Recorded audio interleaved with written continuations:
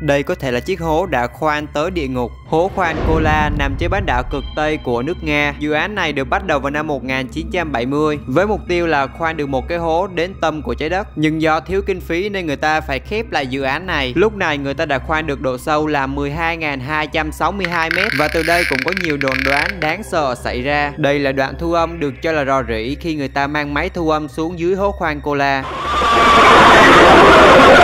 Âm thanh khá giống với tiếng la hét của rất nhiều người. Không chỉ thế, một điều kỳ lạ nữa là nắp của hố khoan này còn đã bị ghi sai với số đo thực sự của nó. Hố khoan cola sâu 12.262m, tại sao người ta lại ghi sai như thế kia? Rất nhiều tin đoán con người đã khoan đến hố của địa ngục và cách viết sai thế kia có thể là một phong ấn bí ẩn nào đó.